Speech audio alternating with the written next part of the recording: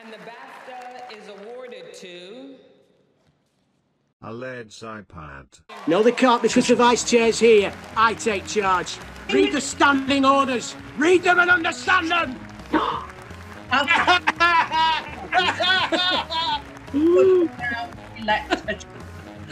Here comes the subpoena. We're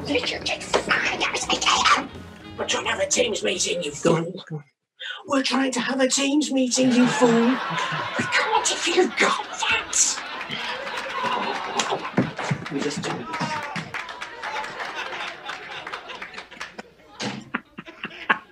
Oh, coming from you from Birkenhead, that sounds good. Who's Alan Murdoch, please? Yes, please.